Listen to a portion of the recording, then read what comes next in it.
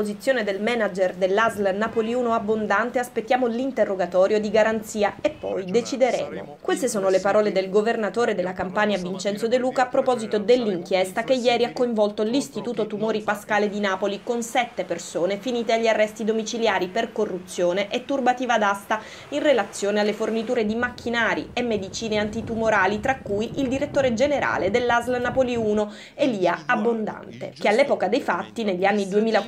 2014-2015 era direttore amministrativo della struttura sanitaria, mentre il primario del reparto di oncologia interna era Francesco Izzo, anche lui finito agli arresti domiciliari. La gestione dell'ASL partenopea è stata assunta per il momento dal direttore sanitario Pasquale Di Girolamo Faraone. Sull'eventuale costituzione di parte civile della regione nel processo che potrebbe seguire questa prima fase investigativa, De Luca ribadisce: Noi non siamo per la demagogia, aspettiamo quello che saranno le determinazioni della magistratura per poi decidere se costituirci in giudizio. Quel che voglio sottolineare, prosegue il governatore, è che il Pascale è un'eccellenza sanitaria che fa onore alla Campania e all'Italia la cui qualità non può essere offuscata da singoli episodi. Negli ultimi mesi abbiamo ottenuto risultati straordinari per quanto riguarda la riduzione delle liste d'attesa, conclude De Luca, e sotto il profilo delle cure ai malati.